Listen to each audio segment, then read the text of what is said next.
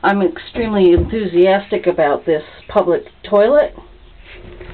And you do the handle a few times. And there goes my toilet paper and there's a small spray of water. And that's pretty cool. And there's some hand disinfectant here. And there's a record of, they seem to look after it every week. It's pretty cool. It's a little plastic thing. So I give this rural toilet a thumbs up. Although thumbs up in Roman days meant they die, and thumbs down meant they live.